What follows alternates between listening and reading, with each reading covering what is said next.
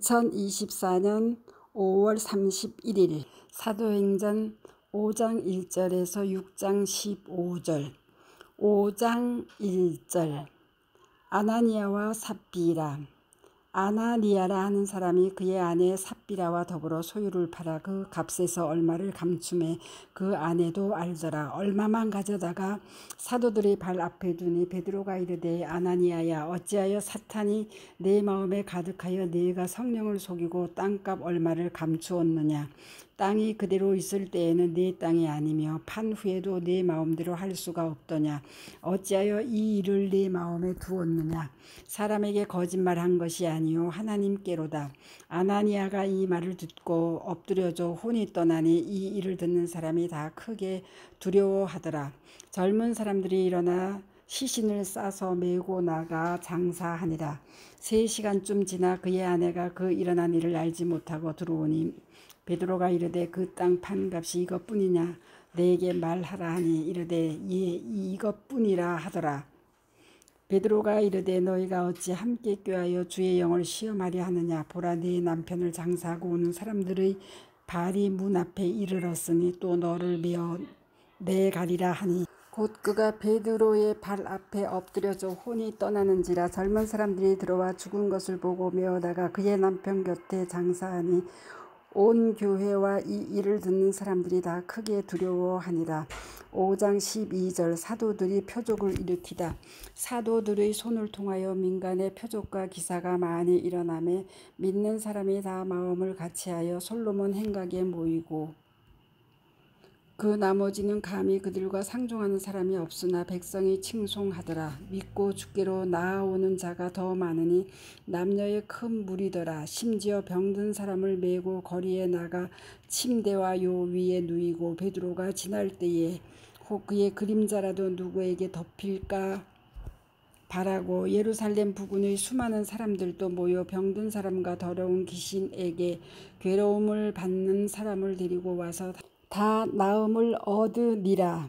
5장 17절 사도들이 능력을 받다. 대제사장과 그와 함께 있는 사람 즉 사두개인의 당파가 다 마음에 시기가 가득하여 일어나서 사도들을 잡아다가 옥에 가두었더니 주의 사자가 밤에 옥문을 열고 끌어내어 이르되 가서 성전에 서서 이 생명의 말씀을 다 백성에게 말하라며 그들이 듣고 새벽에 성전에 들어가서 가르치더니 대제사장과 그와 함께 있는 사람들이 와서 공회와 이스라엘 족속의 원로들을 다 모으고 사람을 옥에 보내어 사도들을 잡아오라 하니 부하들이 가서 옥에서 사도들을 보지 못하고 돌아와 이르되 우리가 보니 옥은 든든하게 잠기고 지키는 사람들이 문에 서 있으되 문을 열고 본즉 그 안에는 한 사람도 없더이다 하니 성전 맡은 자와 제사장들이 이 말을 듣고 의혹하여 이 일이 어찌 될까 하더니 사람이 와서 알리되 보소서 옥에 가두었던 사람들이 성전에 서서 백성을 가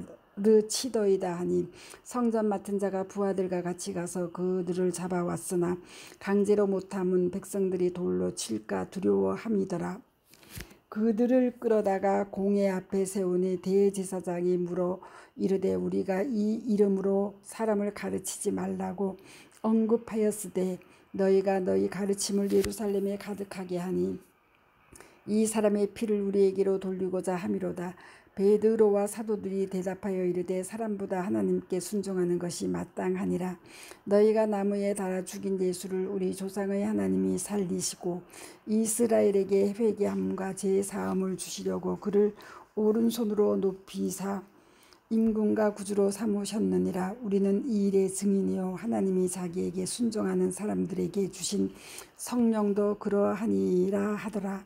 그들이 듣고 크게 노하여 사도들을 없이 하고자 할세 바리새인 가말리엘은 율법 교사로 모든 백성에게 존경을 받는 자라 공회 중에 일어나 명하여 사도들을 잠깐 밖에 나가게 하고 말하되 이스라엘 사람들아 너희가 이 사람들에게 대하여 어떻게 하려는지 조심하라. 이전에 드다가 일어나 스스로 선전함에 사람이 약 400명이나 따르더니 그가 죽임을 당함에 따르던 모든 사람들이 흩어져 없어졌고 그 후 호족할 때에 갈릴리의 유다가 일어나 백성을 깨어 따르게 하다가 그도 망한즉 따르던 모든 사람들이 흩어졌느니라 이제 내가 너에게 말하노니 이 사람들을 상관하지 말고 버려두라. 이 사상과 이 소행이 사람으로부터 났으면 무너질 것이요. 만일 하나님께로부터 났으면 너희가 그들을 무너뜨릴 수 없겠고 도리어 하나님을 대적하는 자가 될까 하노라 하니 그들이 옳게 여겨 사도들을 불러들여 채찍질하며 예수의 이름으로 말하는 것을 금하고 놓으니 사도들은 그 이름을 위하여 능력받는 일에 합당한 자로 여기심을 기뻐하면서 공의 앞을 떠나니라. 그들이 날마다 성전에 있든지 집에 있든지 예수는 그리스도라고 가르치기와 전도하기를 그치지 아니하니라. 6장 1절 일곱 일꾼을 택하다. 그때의 제자가 더 많아졌는데 헬라파 유대인들이 자기의 가부들이 매일의 구제에 빠짐으로 히브리파 사람을 원망하니 열두 사도가 모든 제자를 불러 이르되 우리가 하나님의 말씀을 제쳐놓고 접대를 일삼는 것이 마땅하지 아니하니 형제들아 너희 가운데서 성령과 지혜가 충만하여 칭찬받는 사람 일곱을 택하라. 우리가 이 일을 그들에게 맡기고 우리는 오로 오로지 기도하는 인류가 말씀 사역에 힘쓰리라 하니 온 무리가 이 말을 기뻐하여 믿음과 성령이 충만한 사람 스데반과 또 빌립과 브로고르와 니가노르와 디몬과 바메나와 유대교에 입교했던 안디옥 사람 니골라를 택하여 사도들 앞에 세우니 사도들이 기도하고 그들에게 안수하니라. 하나님의 미 말씀이 점점 왕성하여 예루살렘에 있는 제자의 수가 더 심히 많아지고 호다한 제자장의 무리도 이도에 복종하니라. 6장 8절 스데반이 잡히이다.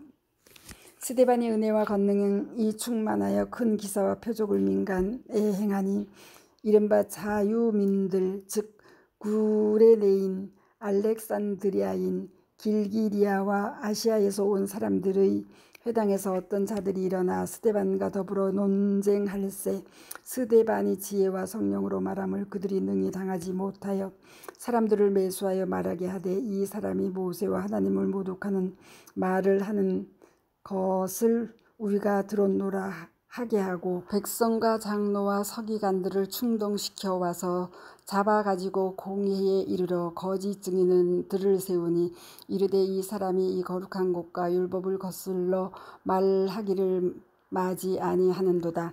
그의 말에 이 나사렛 예수가 이곳을 헐고 또 모세가 우리에게 전하여 준 규례를 고치겠다 함을 우리가 들었노라 하거늘 공회 중에 앉은 사람들이 다 스데반을 주목하여 보니 그 얼굴이 천사의 얼굴과 같더라. 아멘 스토리 양입니다. 감사합니다.